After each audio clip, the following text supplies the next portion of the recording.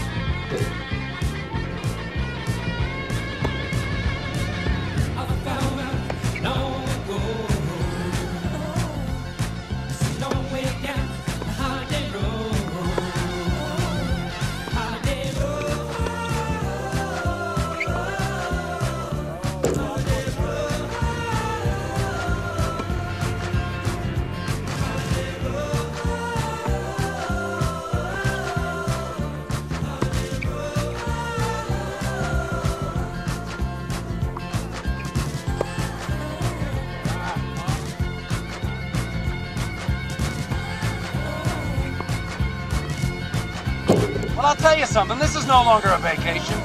It's a quest. It's a quest for fun.